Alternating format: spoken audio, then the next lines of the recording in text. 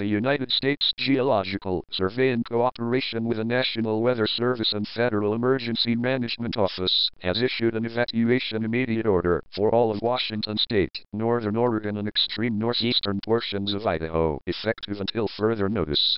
At 6.14 p.m. Pacific Daylight Time, an earthquake measuring 6.4 on the Richter scale occurred near Glacier Island, near the bottom of Mount Rainier.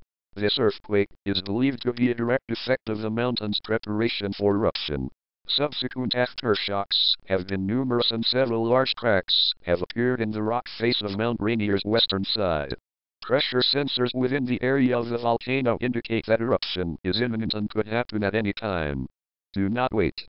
Take only what you need, gather pets and the elderly, and evacuate immediately. Follow the routes marked for you or head eastward out of the state. If you cannot evacuate, there are shelters in place to provide safety for you and your family. The Red Cross and National Guard will assist you in finding shelter or evacuating safely. Do not panic. Take what you need and evacuate the area. Make sure you have any needed medication, pet food, clothing, and bottled water for at least a week. Do not use your phone unless it is an emergency.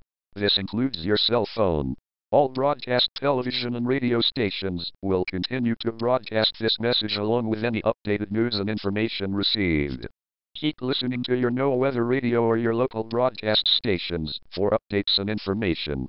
To repeat, an evacuation immediate order has been issued for all of Washington state, northern Oregon, and extreme northeastern portions of Idaho until further notice. Do not wait.